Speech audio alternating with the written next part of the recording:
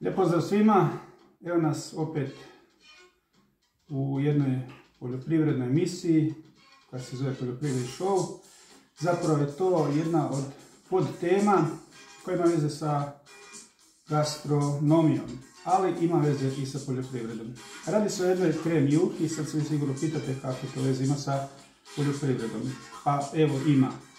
Znači u ovoj krem juhi ima najviše povrća, a povrće je kupljeno danas na tržnici u Požegi od jednog OPG-ovca, znači obiteljskog poljoprivrednog gospodarstva i ovom prilikom pozivam sve da što više kupujete od takvih gospodarstava i tako pomažete male poljoprivredne proizvođače. E, pošto je ovo pod tema, pod točka, ima veze sa gastro temom, Predlažem i molim vas da u komentarima napišete za buduće kako bi se ova tema mogla zvati. Da li gastroguru, gastromag ili možda gastronimfomanija.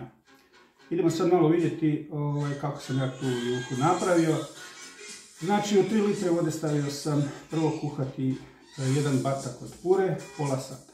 Zatim sam stavio uh, pileća prsa kuhati pola sata, a na početku sam stavio E, sitno narezanih e, nekoliko vrsta povrća, čisto zbog toga da e, ta juhanost voda poprimi na početku već okus povrća. Nakon tih sat vremena pileća prsa sam izvadio, ona su bila kuhana i onda se mogu lijepo narezati jedan dio na onako male odreske i tako jesti kuhana ako voli, ali može se narezati na takve odreske i ispeći prokržiti na jednom finom ukusnom maslinom ulju. E, sve ovo što vam govorim, što sam i kako napravio, bit će u fotografijama, u komentarima. E, kožu od pilećih prsa, ako netko ne voli od ukućana, znači možete odvojiti u komadu, ostaviti tako kuhano ili protržiti, ja sam recimo protržio.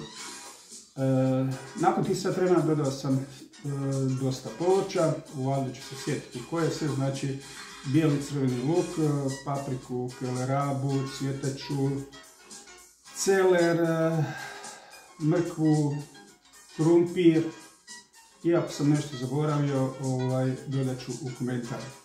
I to sam kuhao još nekih pola sata, 35 minuta, ne treba to previše. I nakon toga sam ovaj, od pola te tekućine napravio fino ovako kremijuku, a ostalo je ostalo sa cjelovitim E, povrćem.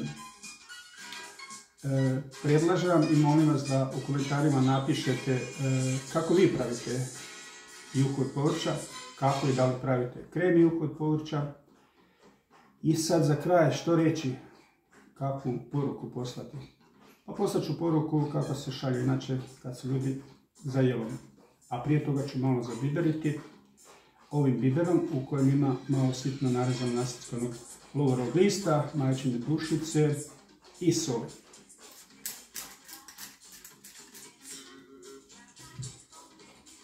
Rekao kakvu poruku poslati, dakle šaljem sljedeću poruku i to na nekoliko jezika.